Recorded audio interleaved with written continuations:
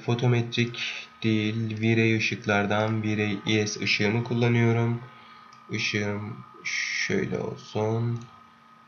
Ve şöyle göreyim etkisini. Target'ını da biraz kaldırayım. Evet.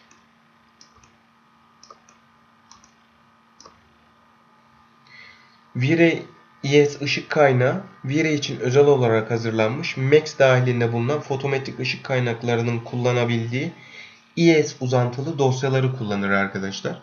Google'da ES download yazarsanız ücretsiz ES ışıklarını indirebilirsiniz. Çok işe yarar ışıklar vardır. Çok işe yarar ES dosyaları vardır. Bu ES ışığınız açık ya da kapalı. Buradan açıp kapatabilirsiniz. Enable Viewport Shading. Viewport'ta ışık kaynağının etkisi viewport'ta gözüksün gözükmesini açıp kapatabilirsiniz. Show Distribution ışık kaynağının dağıtım yapacağı ön izleme kutucuğunu çizim ekranda göstersin ya da göstermesin açıp kapatabilirsiniz. Biraz sonra daha net anlayacağız bunları. Işık kaynağı targeted mı yani hedefli mi hedefsiz mi olmasını belirler. ES file işte buradan ışık kaynağınıza bir ES dosyası tanımlayabilirsiniz. Bu daha açılacak. Benim ES dosyalarım olması lazım.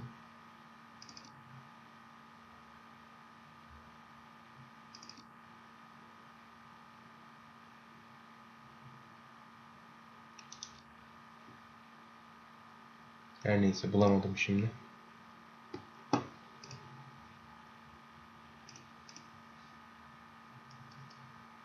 Evet buradan indirelim.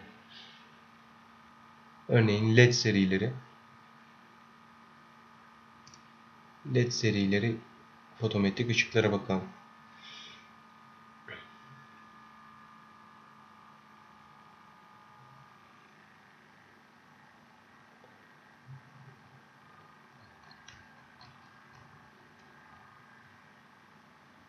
Şunu indirelim.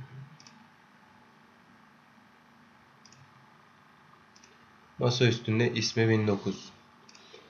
Hemen buradan ES dosyamı veriyorum. Ve sağ olsunlar bizim için yapmışlar. Bu ES dosyası geldi. Biraz daha yaklaştırırsam etkisini göreceğim. LED LED ışık olduğu için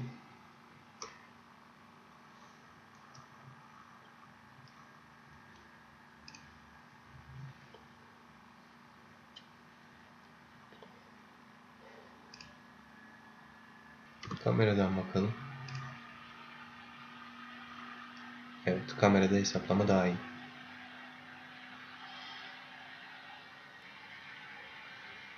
Tek LED'in aydınlatması. Bu şekilde ES dosyaları bulup kullanabilirsiniz. Rotation bu tanıttığınız ES dosyasının ışık kaynağı olarak yaratacağı dağılma şeklinin işte X yönündeki açısı, Y yönündeki açısı, Z yönündeki açısı. Cutoff her zaman bahsettiğimiz gibi ışık şiddetinin mesafeye göre olan eşik değeridir. Show bias objelerin gölgelerinin objelerden ne kadar uzağa veya ne kadar yakına düşmesi gerektiğidir. E, bu ayar çok önemlidir. E, çok uzatır ya da azaltırsanız gerçekten uzak görüntüler elde edebilirsiniz. Cast Shadows ayarı ışık kaynağının gölge yaratmasını sağlar ya da engeller.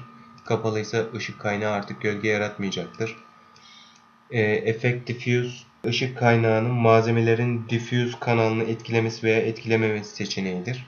Effect Specular ışık kaynağının malzemelerin malzemelerinin malzemelerin glossiness ile alakalı e, yani yansıtıcı ve parıltıcı kanallarını etkilemesi veya etkilememesi seçeneğidir.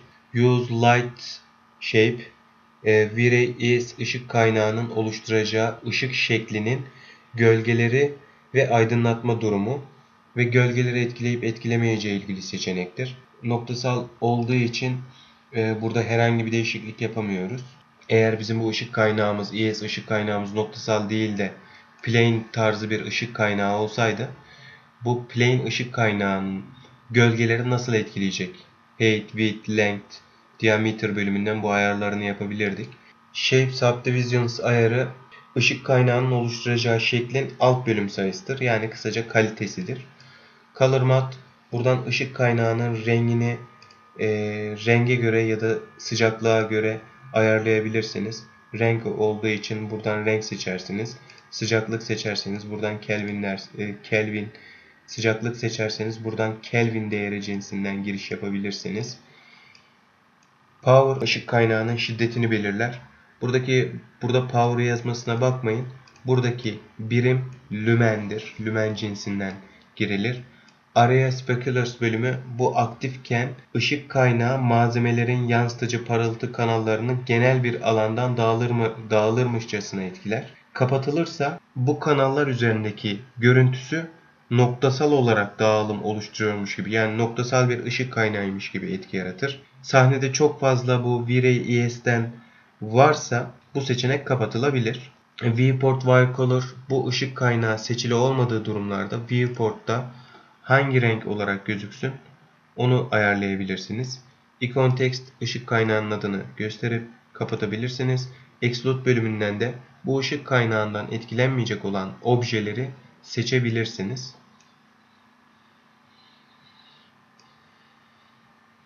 Bir sonraki bahsedeceğimiz ışık kaynağı V-Ray Sun'dır.